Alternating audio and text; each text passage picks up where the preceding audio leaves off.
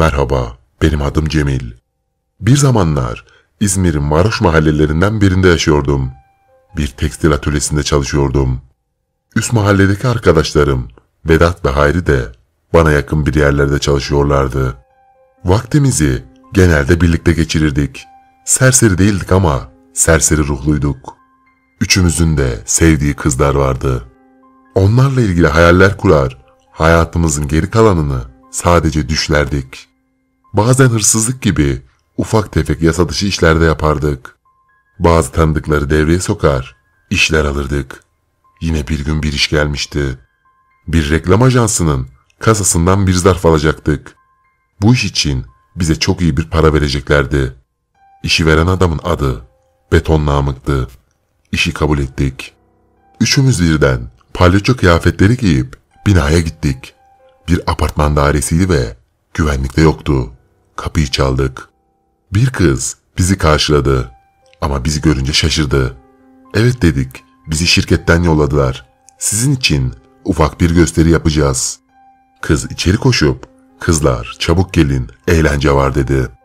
Herkesin toplanmasını bekledik. İçeride toplam 8 kişi vardı. Hayri ve Vedat silahlara davrandı. Hemen yere yatın. Bağıran olursa acımam dedi Vedat. Kızlar korkmuştu ve hepsi birden yere yattı. Hemen telefonları görebileceğimiz bir yere bırakın. Çabuk olun diye bağırdı Hayri. Kızlar bir ışımla telefonları önümüze bıraktılar. Hepsi de titremeye başladı. Sakın sesinizi çıkartmayın diye tekrar tekrar uyardı Vedat. Vedat'a şimdi ben konuşacağım dedim. Vedat kızlara bakarak palyaçoyu dinleyin dedi. Bana bakın. Burada bir emanetimiz var. Onu alıp gideceğiz. Sizinle bir işimiz yok. Parası olmayandan çalmam ve hak etmeyen insanları da incitmem. O yüzden rahat olabilirsiniz. Sadece dediğimizi yapın. Yeterli. Eğer ters bir şey hissedersem, işte o zaman çok fena can yakarım dedim. Sonra da kasanın yerini sordum. Kasa patronun odasında duruyor. Oraya bakın dedi. Yanımızda bazı aletler getirmiştik. Yaklaşık 15 dakika içinde kasayı açtık ve zarfı aldık. Bütün telefonları da alıp kapıyı üzerlerine kilitleyip oradan hızla uzaklaştık. Telefonları çöpe atıp ara sokaklardan pek göze batmadan oradan uzaklaştık. Zarfı verdik ve parayı alıp her günkü hayat kavgasının içine karıştık yeniden. Üçümüzün de borçları vardı ve patrondan bu ay ödeme alamamıştık. Çok acil bir iş lazımdı bize. Alacaklılar sıkıştırmaya başlamıştı. Betonu arayıp iş istedik.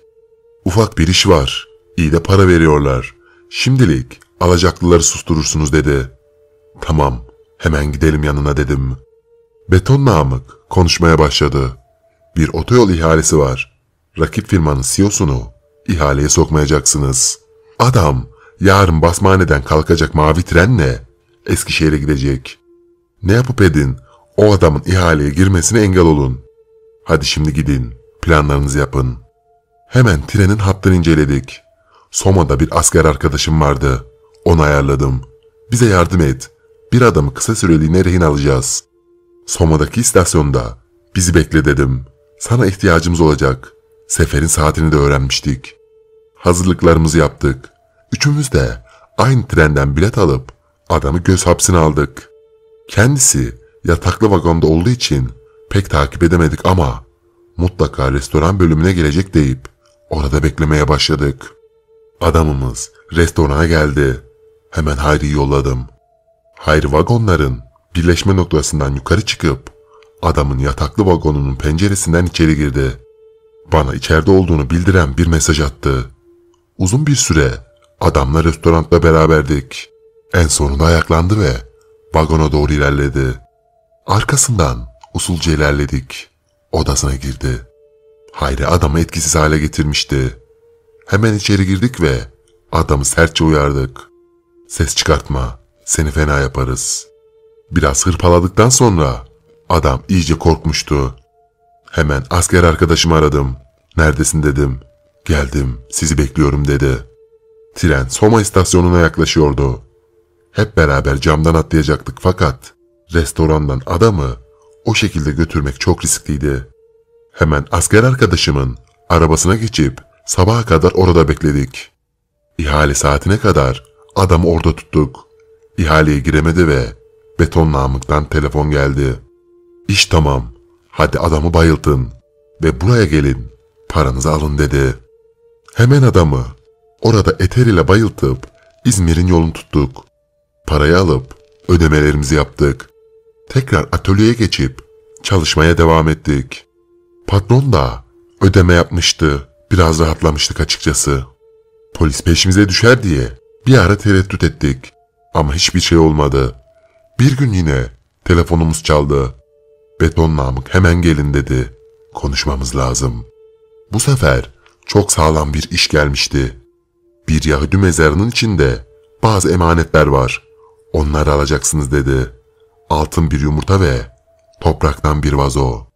Bize mezarın adını ve yerini söyledi. Bu iş için baya iyi bir para alacaktık. Tamam dedik ve işi kabul ettik. Hemen gidin. Gündüz vakti bir keşif yapın.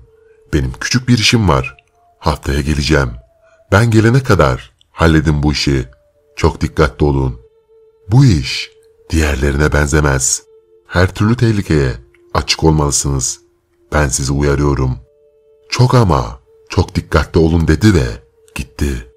Dediği gibi bir gündüz vakti o Yahudi mezarlığının etrafında keşfe çıktık. Yerini ortalama olarak çözmüştük. Mezarlığın girişinde bir ufak kulübe vardı. Büyük ihtimal bekçi kulübesiydi. Mecbur kalmadıkça feneri yakmayız. Bu akşam gireceğiz. Herkes hazır olsun dedik. Gece oldu ve kulübenin en uzak tarafındaki duvardan atlayıp mezarlığa girdik. Sessiz ve sakin bir şekilde içeride mezarı aradık. Yanımıza katlanabilir kazma ve kürek almıştık. Yaklaşık bir saat içinde mezarı bulduk. Hepimiz o mezarın başında toplandık. Yavaşça kazmayı vurup bir yandan da kürekle toprağa atıyorduk. Emanetlere ulaştık ve oradan hızlıca uzaklaştık. Vedat'ın evine geçtik. Sakin olurdu genelde evi. Bize işi veren adamın gelmesine daha dört gün vardı. Evde bir anda şeytan aklımıza girdi. Şeytan aklımızı çeldi. Neden bunları o adama verelim? Eğer bize o kadar para veriyorsa bir dünya üzerimizden para kazanacak. Bu fikir benim de aklıma yatmıştı. Üçümüz de onaylamıştık bu durumu. Zaten evimizi bilmiyordu. Telefonları kırar atarız. Bize hiçbir türlü ulaşamaz diye düşündük. O anda birbirimize sarılıp sevinmeye başladık. İki gün boyunca evde düşündük. İstanbul'da daha fazla fiyata okuturuz bunu dedik ve biraz beklemeye koyulduk. Vedat'ın evinde bu üçüncü gecemizdi. Yumurta ve vazoyu buzdolabının arkasında küçük bir boşluk vardı. Oraya sakladık. Bir ara uyandım. Mutfağa geçip soğuk bir şeyler alıp içtim. Sonra tekrar odaya, yatağa geçtim. Döndüm durdum ama uykum kaçmıştı artık. Yüzümü kapı tarafına doğru döndüm. Gözler karanlığa alışınca içerideki bazı nesneleri görmek daha kolaylaşıyordu. Duvara dikkatlice baktım. Bir karartı vardı. Bu yoktu burada. Nedir o öyle dedim. Uzunca bir süre ona baktım. Hareket etmedim. O da öyle hareket etmeden duruyordu.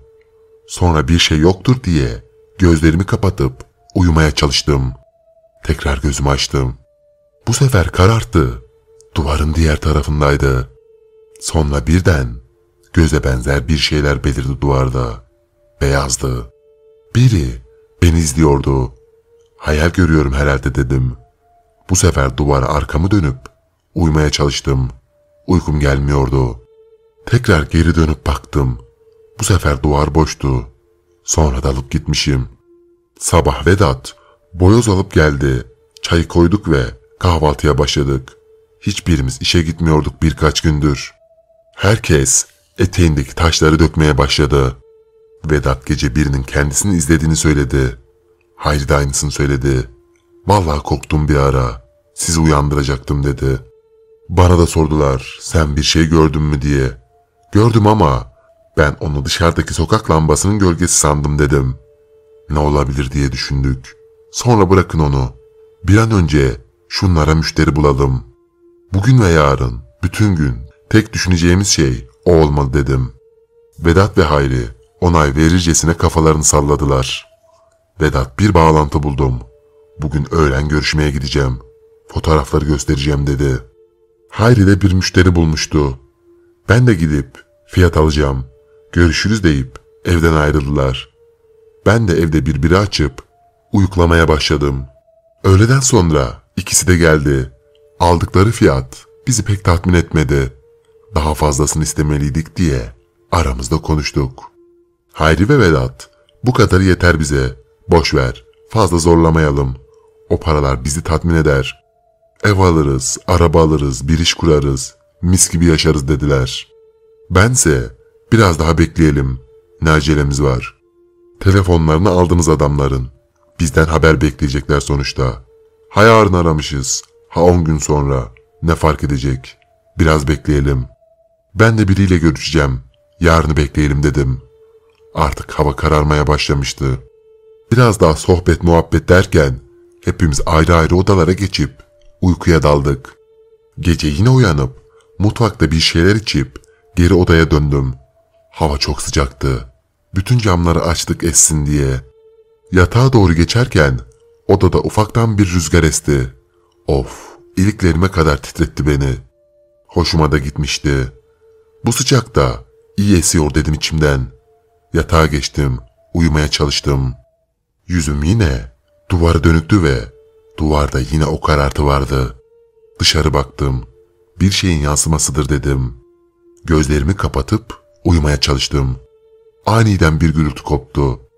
Küçük sehpa yere düştü. O anda heyecanla yatakta gözlerimi açtım. Hemen duvara baktım. Karartı yoktu. Diğer odadan Vedat ve Hayri küfürler ediyorlardı. Hemen ışığı açıp yanlarına gittim. Ne oldu oğlum dedim. Yeminle içeride biri var. Bizi izliyordu dediler. Neler olduğunu anlam veremiyorduk. En sonunda bize dokundu ve o anda karartının gerçek olduğunu anladık. İnan ki bu evde biri var dediler. Işıkları açıp neyse bakalım dedim. Evin her yerini aradık. Hiçbir şey bulamadık. Sabah olmuştu. Ben de işkillenmiştim açıkçası. Biri beni izliyordu ve sehpada yere düşmüştü. Anormal bir şeyler vardı bu işte dedim. Hadi biriniz boyoz almaya gitsin. Kahvaltı yapalım bir an önce.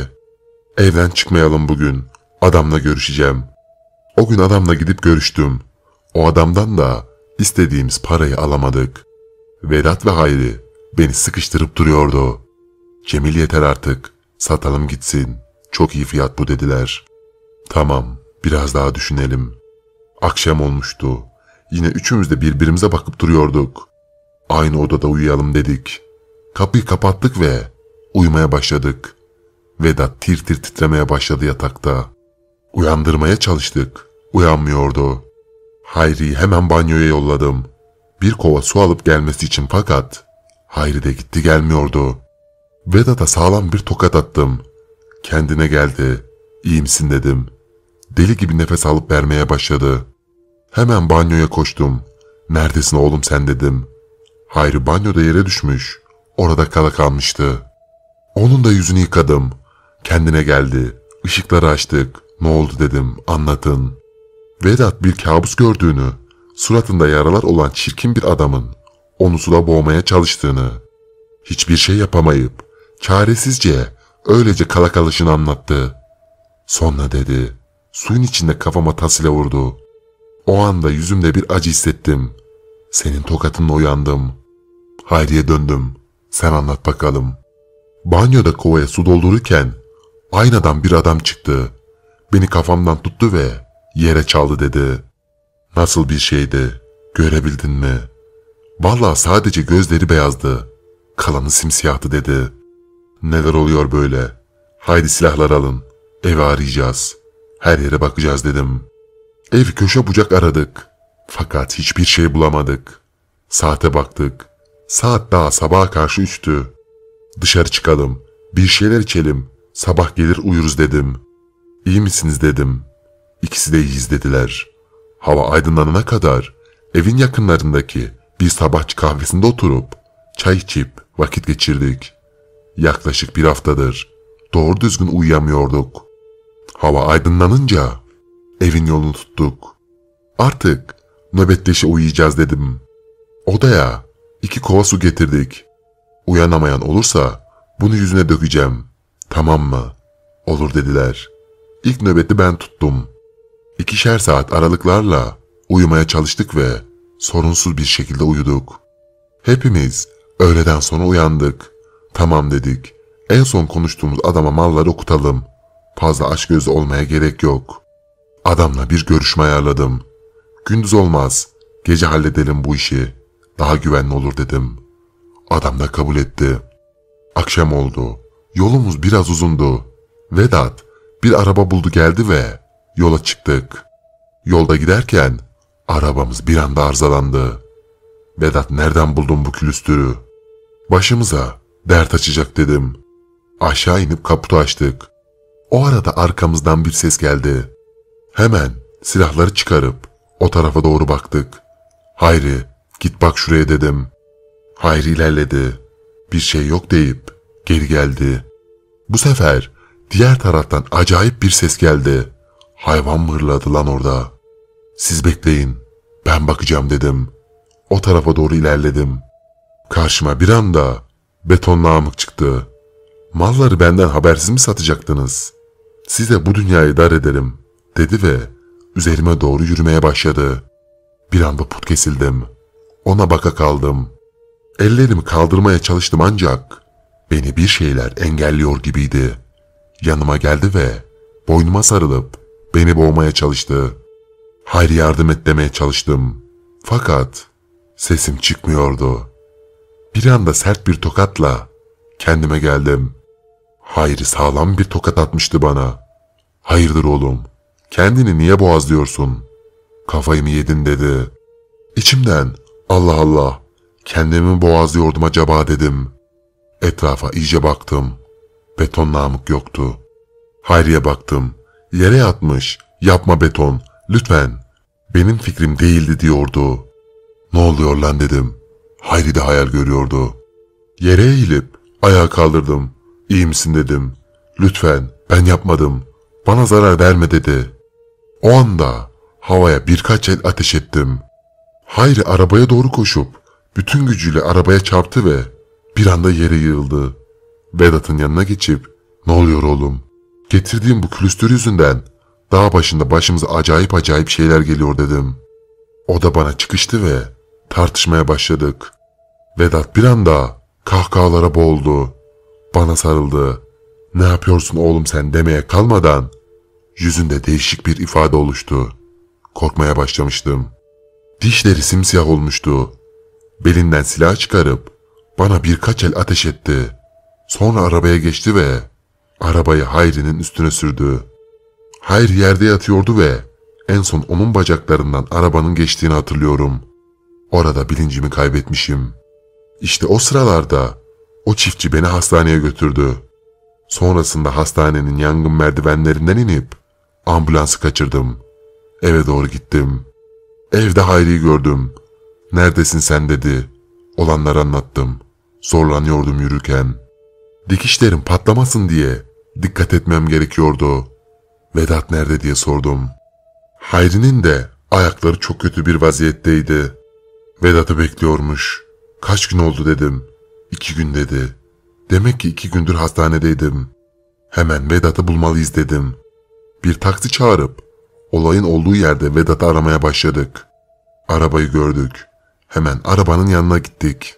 Hayri de ben de çok zorlanıyorduk yürürken. Her adım attığımızda canımızdan can gidiyordu. Vedat'a baktık. Arabanın yanına oturmuş. Boşluğa bakıp öylece kala kalmıştı. Hemen sağlam bir tokatla onu kendine getirdik. Su bulup verdik. İyi misin diye sorduk. Oğlum ben çok kötüyüm. Onlar istiyor dedi. Kim dedim. O cin dedi. O mezarın koruyucusuymuş. Hemen halletmeliyiz bu işi. Cin mi? Ne demek cin? Tüm bunları yaşatan bize. O koruyucu cin miymiş yani dedim. Hemen bir şeyler yapalım dedim ve önce eve geldik. Mahallenin imamına gidip olanları anlattık. Kuru çeşmede bir hoca var. Sizin işinizi o çözer dedi ve Hemen oradaki hocayı aradı. Olanları anlattık. Adam beni biraz bekleyin. Rüyaya yatıp neler olduğunu ve neler yapabileceğimizi öğreneceğim. Beni burada bekleyin dedi. Yaklaşık bir saat sonra geri geldi. O cin mezarın koruyucusuymuş. Onu bir büyü için kandırmışlar. O da mezarı boş bırakmış. Siz de o arada gelip oradaki emanetleri almışsınız. Onunla konuşup anlaştım. Hemen gidip onlar oraya gömün. Sizi rahat bırakacak dedi. Bizlere birer muska verdi. Bunları çıkarmayın. Mezarda siz gömerken sizi sadece uzaktan izleyecek. Söz verdi. Bir şey yapmayacak dedi. Hocaya teşekkür edip oradan ayrıldık. Gece olmasını bekledik. Canımız hala yanıyordu. Ama bu işten kurtulmamız lazımdı. Emanetleri mezara gömdük ve evin yolunu tuttuk. Eve girdik. Birbirimize baktık. Kör topal bir haldeydik. Ne umduk, ne bulduk diyerek kahkahalar atmaya başladık. Benim dikişlerim vardı. Hayri'nin bacakları çok kötüydü. Vedat ise cin ile uzun bir süre geçirmiş ve travma yaşamıştı. Hepimiz de belli bir süre tedavi olduktan sonra tekrar işlerimize dönüp çalışmaya başladık. Hikaye bu kadar dostlarım. Bir başka hikayede korku yakasında buluşmak üzere. Hoşçakalın.